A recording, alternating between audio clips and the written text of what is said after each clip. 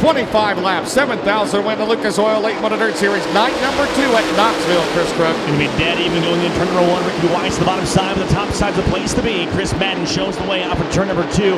Weiss not going away, though. He's going to pull away right with Madden. Top two cars at a strong start entering turn three.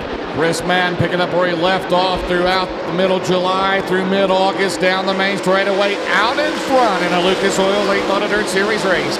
Chris Madden and Ricky Weiss into one. Weiss is there. Meanwhile, Madden has to continue with traffic down the back straightaway. 13 in the books, 12 to go here tonight, and here comes Weiss. Weiss is right there in striking distance. They both go down to the bottom side. Lap traffic will play a part in this one. Everyone down low, the top three cars all take the berm off of turn number four. Chris Mann's going to try and get around lap traffic. He's right in front of it. They're all right in the line, and now he slides up your race the lead in turn number two. Oh, good battle there, Chris. Down the back straightaway. 11 laps to go, and meanwhile, Tyler Bruening in the hunt.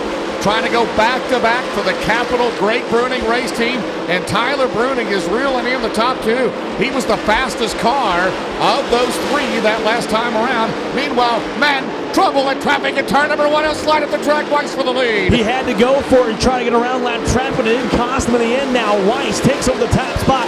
He'll show the way in turn number three. Chris Madden has plenty of time. He's not going anywhere. They'll have nine laps to go. This time by, he's still right in the back bumper of Ricky Weiss, but lap traffic is a major issue right now entering turn number one. Down the back straightaway, one final time. Ricky Weiss might just have enough of this. Look at the track is right now. He might have enough to get it done over in turn three and four. Madden goes to the top side, jumps the cushion for a second, readjusts it, and the front straightaway.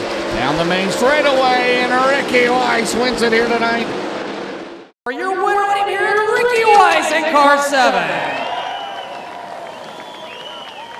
$7,000 richer in his first ever Knoxville Raceway feature triumph